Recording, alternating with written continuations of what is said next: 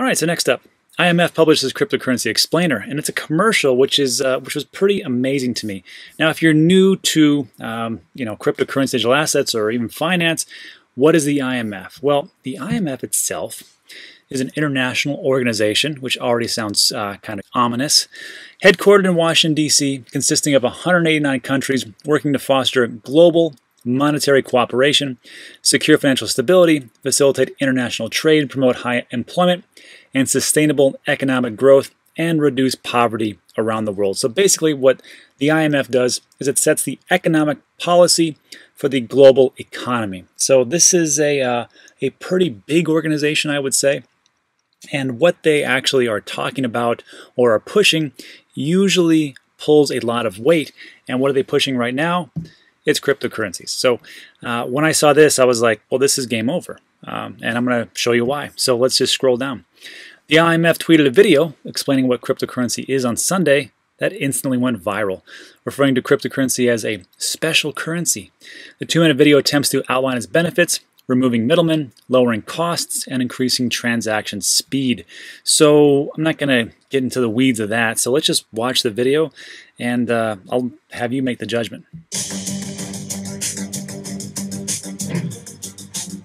When we buy or sell things, the payment is usually processed by a bank or credit card company. Problem number one the companies often take a cut of the transaction. Two, we have to trust these companies to protect our sensitive data from hackers. Three, most international payments take a long time and are expensive. To solve these problems, we could use a special currency that is secure and based on the science of cryptography, which is a way of protecting information using mathematics. This special type of currency is called a cryptocurrency and only exists in computer networks. When you send someone this special currency, the money goes directly to them, removing the middleman.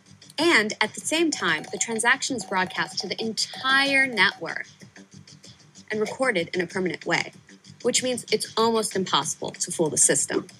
Costs of making payments are lower, transactions are faster, especially across countries, and even those people around the globe who don't have bank accounts can buy or sell goods and participate in the global economy.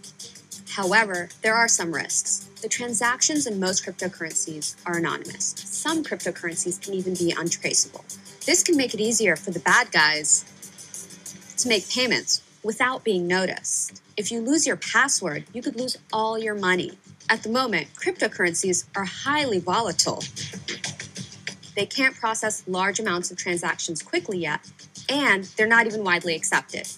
But if we can counter the risks, then this new technology, or some variation of it, can completely change the way we sell, buy, save, invest, and pay our bills. And who knows, this could be the next step in the evolution of money. Okay, pretty interesting stuff right there. But uh, two things stood out to me. One, they kept talking about special currency, special currency, special currency. And I can tell you right now, uh, the IMF are no slouches. They've probably done a ton of research, a ton of analytics, and they have found the exact phrase that will work to let the uh, entire populace digest easily the type of information that they are throwing out. And this happens throughout all types of marketing, all types of corporations, even up to the highest levels of government.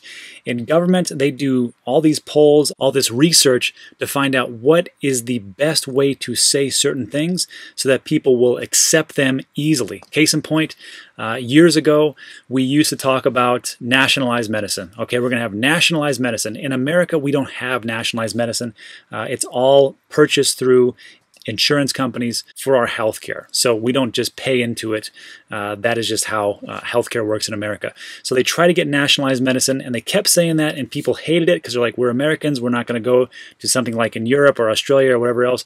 We are this certain way and this is all we want. However, what they did was they did a ton of research and analytics and they said, you know what, instead of saying that, you know, senator, whoever, or congressman, whoever, you're going to say Medicare for all. It's the exact same thing as far as a nationalized medicine plan uh, or, man- or nationalized healthcare, but just say Medicare for all. And guess what? It went from 10% acceptance to over 60% acceptance when people started to talk about it. Amazing. The exact same thing. So, what's happening here with the IMF, they're doing the exact same procedure. And when you start hearing things about special currency, special currency, you're going to hear that term over the next one to three years and you're going to get sick of it. Second thing I found interesting was that they pretty much just laid it out and said, look, this is what we're going to actually push as far as cryptocurrency digital assets, and they are these three things. And it is Bitcoin, Ethereum, and XRP. Now, look, I don't know why they have these particular ones, but they put it in the commercial. They've alluded to it in different uh, interviews throughout the internet. So these are the big three. And Bitcoin, Ethereum, XRP, sure, great. Um, I don't know what you are into, um, but I will tell you this I've invested heavily into Bitcoin heavily invested in Ethereum. XRP I used to invest in heavily. I do not anymore. I have my positions, but I got to tell you something. When the International Monetary Fund is is putting out a commercial and they're telling you exactly the three that they're pushing, these are something that you might want to look into and maybe carry. Not financial advice, but I got to tell you, IMF is in a lot of countries. It is global. It pushes the economic policy. So just something to think about. All right, that is it for that. Let's move on to question of the day.